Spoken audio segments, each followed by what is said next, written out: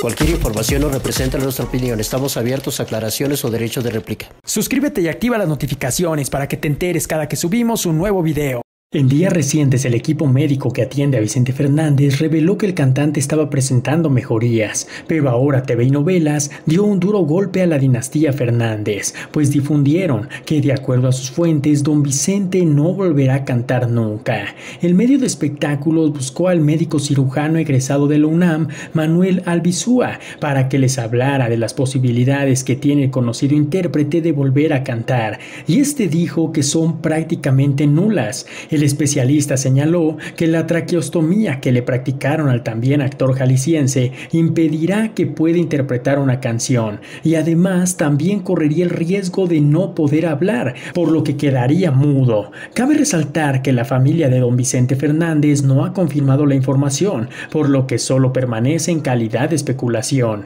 Esta tarde los médicos que atienden al padre de Vicente Fernández Jr. volverán a compartir detalles de su progreso dale like y compartir, ya que todos los días te traeremos el alboroto de los famosos.